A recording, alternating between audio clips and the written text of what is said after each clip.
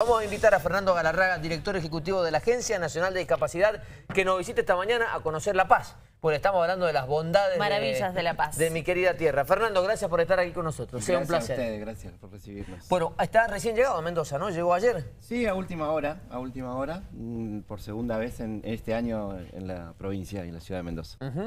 ¿Y qué lo trae por acá? Viene bien acompañado, está Germán Ejarque aquí con nosotros.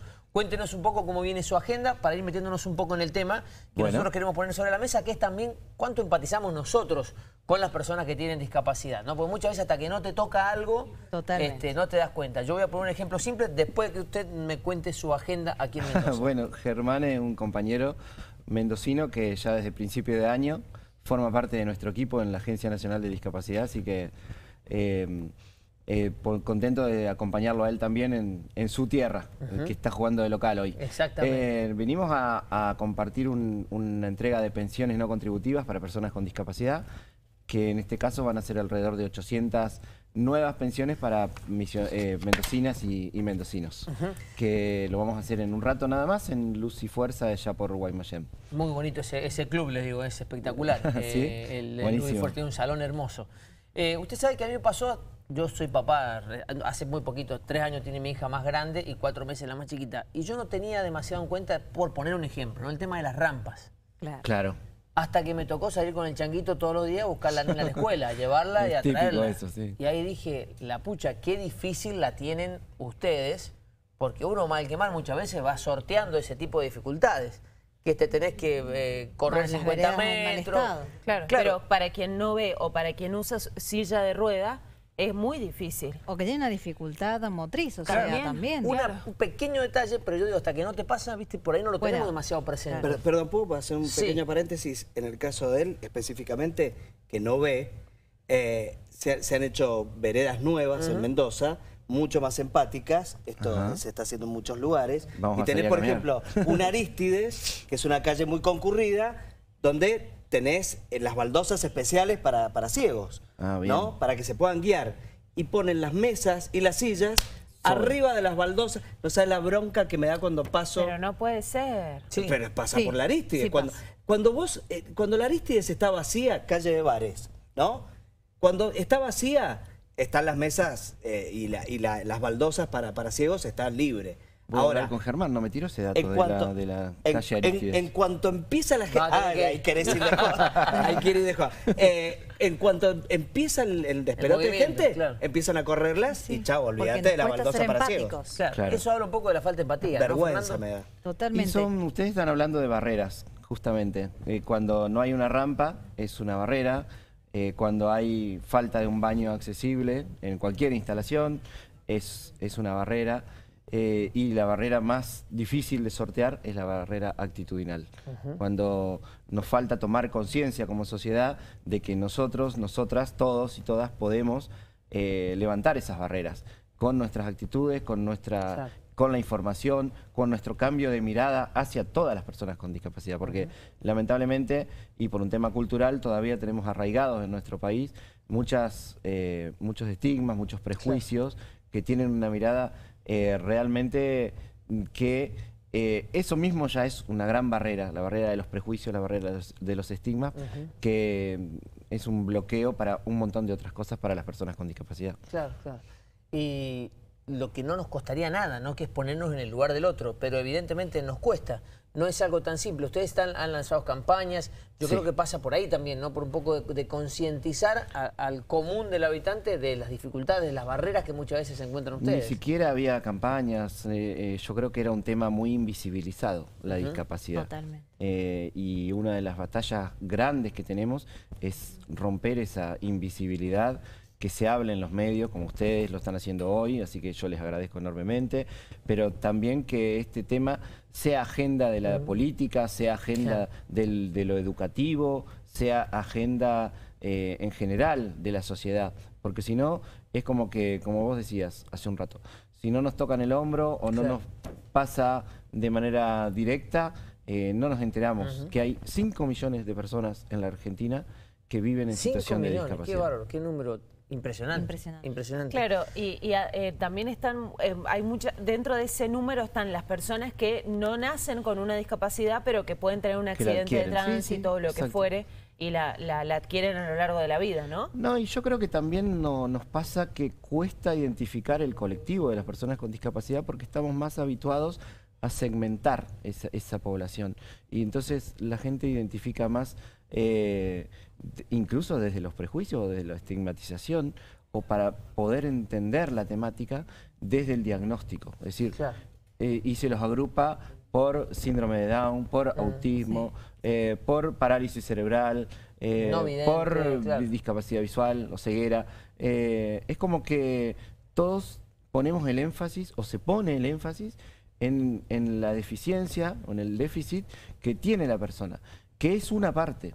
La Claro. otra parte grande es la barrera que tiene el, en- que impone el entorno, que es de esto que estamos hablando con todos ustedes. Vos fíjate que acá en Mendoza pasó con Próbolo, que la justicia se encontró con una situación tan grave como Claro. eh, fueron los casos de abuso eclesiástico en el Próbolo, Sí. donde eran todos chicos hipocúsicos, todos sordos, donde necesitaban sí o sí un intérprete y había que capacitar a gente de la justicia para que Claro. justamente pudieran acceder a ellos. Y nos encontramos con esa gran dificultad dentro de, la hecho, justicia misma. Permitime, Sofi, ponerlo al tanto a Fernando, le ha permitido a los acusados dilatar muchísimo todo. Totalmente, hasta el día de hoy, porque, eh, por ejemplo, en, las- en el segundo juicio recusaron a los intérpretes de lenguas de señas y no habían más intérpretes que estuvieran a la altura de las circunstancias. Hoy lo están, Claro. pero digo, hubo Sí, que ha permitido una capacitación en los temas judiciales, que no es, una, no es una tarea tan sencilla. Fíjense que, que esto que ustedes cuentan me recuerda dos casos recientes.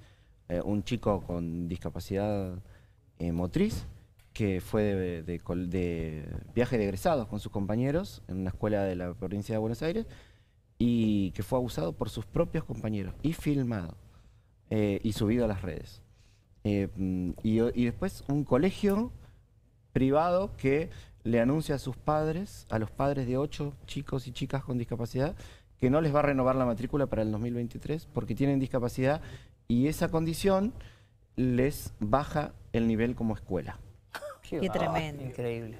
Es Estas tremendo. cosas pasan en la Argentina Sí. por la invisibilidad de la, de la discapacidad, porque nos falta comprender cuál es nuestro rol, digo, nuestro rol como todos y todas, ¿no? Claro. Eh, y cuál es lo que podemos aportar para, para darle visibilidad, para informarnos, fundamentalmente es, hay y también que nace informarse desde la casa, ¿no? y actuar en consecuencia, ¿no? de la casa, de, Claro. de lo que inculcamos desde pequeños a Como los padres, niños, claro. como padres, como familia, porque si yo al niño le enseño que tenés que burlarte de una persona con discapacidad, entonces ¿qué podemos pretender que Es que esa ningún padre como- enseña a burlarse del otro. Lo que pasa es que el niño aprende porque ve al padre burlándose Sí. del otro. Sí, Sí. Entonces Es el niño lo aprende, lo aprende inmediatamente. O- porque si papá lo claro, hace está bien. lo- los chistes, las burlas, Claro. los sobrenombres tienen que ver muchas veces con eso. Entonces, Sí, sí. claro, si vos naturalizás que se puede, que uno se puede reír de, la, co- de una condición del otro, bueno, después no es mucho más difícil. Sí, no, no, no es la única condición que genera ese tipo de, de reacciones, digo, ¿no? Hay, hay otras, el color de piel, el, el- el- un montón de condiciones, cómo uno habla, Sí, sí. eh, La nacional- tartamudez, la nacionalidades. tartamudez, por Sí. ejemplo. Nacionalidades. Hoy, hoy tenemos un ministro del Interior, no sé si eso se considera como una discapacidad la tartamudez, que es lo que le pasa a Guado de Pedro. Eh, no, no se No, considera. no se Hoy no considera. se considera. Claro, eh, lo que le pasa a él te- se ha visibilizado justamente porque hoy tenemos un ministro, nacional claro. que le pasa. Pero recién pensaba, en el Congreso hoy no tenemos ningún legislador nacional ni legisladora que tenga algún tipo de discapacidad. Nada, cero. Eh, Eh, ¿no? Déjenme recordar. Bullrich, quizás. No. No, Bullrich ya no está más. Ah, terminó, No, claro, Bullrich, claro. en el mandato. Senado, pero no, no está más. Pero es Eso verdad, es no hay. increíble. Bueno, cuando hablamos de los cupos y de todo eso, nos vamos un poco por las ramas, Fernando, pero este Está espacio bien, que me tenemos a encanta- esta hora es Me así encanta también, este nos- intercambio porque es muy enriquecedor eh, para la, para la audiencia, veces- para la gente. Claro, muchas veces recibimos mensajes de gente que se opone a los cupos, ¿no? En, en- en el Congreso o en la legislatura. Y yo, en mi caso, soy un defensor justamente por esto, porque si no se quedan sin representación muchísimos sectores. Sí. El cupo obliga a que tengan alguien que pueda llevar Pero vos ese reclamo, porque no, no es lo mismo que lo lleve alguien que no lo padece, alguien que lo sufre todos los días. sí, bueno, sí. ¿cómo, cómo, cómo cambió el, eh, nuestra manera de, de- de mirar la, la discapacidad a partir de Germán. Totalmente. A mí me corrigió un día, y esto también se lo quería preguntar, porque yo lo trataba casi románticamente. ¿eh? Entonces quería no generar daño, digamos, en, en algunos entrevistados. Me pasó con el Federico Acardi, que es un jugador de, de los De los murciélagos. murciélagos, sí, campeones de América recientemente. Y yo buscaba entrevistarlo sin decir, este, por ejemplo... ¿Viste? ¿Viste? O, Claro. Y además hablaba de eh, capacidades diferentes. Entonces Germán un día me manda un mensaje y me dice, no son capacidades diferentes, somos discapacitados. Claro, Sí. sí, personas con Eh, las cosas como son. Y el Fede me dice, Tano, preguntame bien, no tengas problema. Este, de nada, si yo...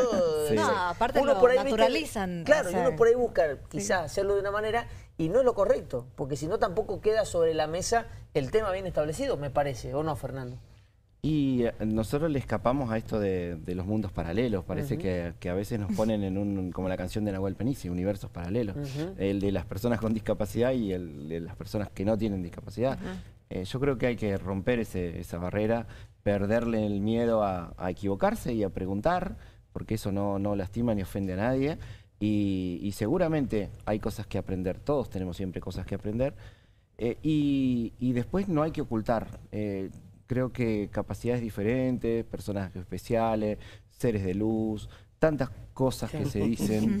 Eh, sí, sí, parece que, que somos eternamente niños y Sí, niñas. sí, sí. Pero- pero te Eh, minimizan con todo, de esa y con, todo lo bueno y con todo lo malo, porque además Sí. después eh, como que eh, lo- los pones en un lugar y son todas cosas positivas y co- como que lo- los ponemos en una burbuja y son personas. Nosotros lanzamos Sí. recientemente una campaña publicitaria esta semana que el primer fragmento es una chica ciega que avanza por una vereda con un bebé en, en brazos y un auto se le pone adelante, ¿no? Un auto en la, en la vereda que lo está lavando un señor. Mire, Fernando, como nuestra producción es tan rápida, Sí. eh, tenemos una producción que es una verdadera luz. Este, le corre a Usain Bolt y le gana. Sí. Eh, vamos a poner en imágenes esa campaña justamente para que ustedes la vean y después seguimos charlando. Dale.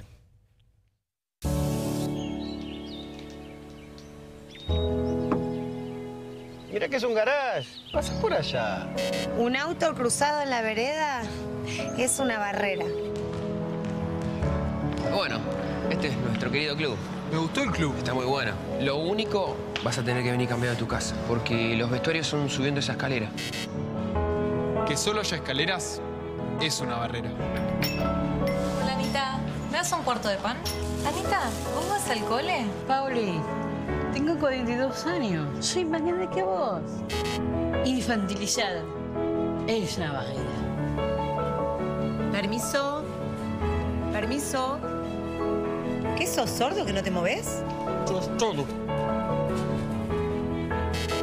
Los prejuicios son barreras. Avancemos hacia una sociedad sin barreras. Claro, son cosas de la, que pasan y la verdad que es así. Tan- usted nos estaba comentando justamente esto. Eh, sí, porque justamente el, el debate que se viene dando en las redes cuando compartimos este, este video y la gente opina y, y dialoga, y mucha gente salió a decir, eh, qué locura una mujer ciega con un bebé en brazos. Claro, a él le importó, no el le importó el auto. El auto atravesado en la vereda, ¿viste? Si no, Qué bárbaro, ¿no? eh, y, A veces, y no nos da la, que- a veces no nos da la cara. ¿no? sí, sí, sí, es muy sorprendente, pero, pero creo que de ahí la importancia de hacer estos, estas campañas que estamos haciendo para poner el tema en debate, eh, para ver que, que las barreras con las que chocan las personas con discapacidad todos los días tienen que ver con las actitudes, con actitudes concretas de la vida cotidiana de, de toda la sociedad.